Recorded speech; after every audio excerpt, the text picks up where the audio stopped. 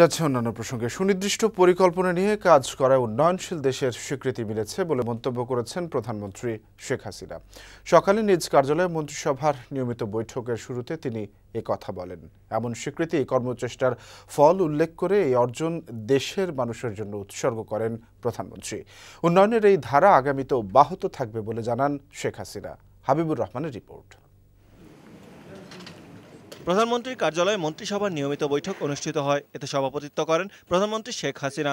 বৈঠকের শুরুতে জাতিসংঘের দেয়া উন্নয়নশীল দেশের স্বীকৃতির চিঠি প্রধানমন্ত্রী শেখ হাসিনার হাতে তুলে দেন অর্থমন্ত্রী আবুল মাল আব্দুল মহিদ চিঠি গ্রহণ করার পর উচ্ছ্বসিত প্রধানমন্ত্রী বলেন, সরকারের নেয়া সঠিক পরিকল্পনা ও সবার কর্মচেষ্টার ফলে উন্নয়নশীল দেশে উন্নীত হয়েছে বাংলাদেশ।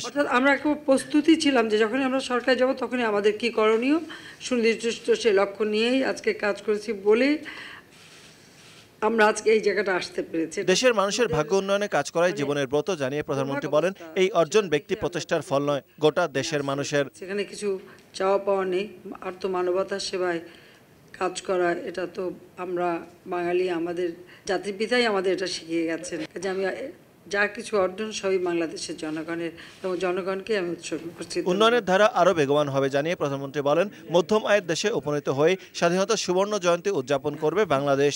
বাংলাদেশ আরও উচ্চ মর্যাদায় যাবে। হাবিবুর রহমান বৈশাখী সংবাদ।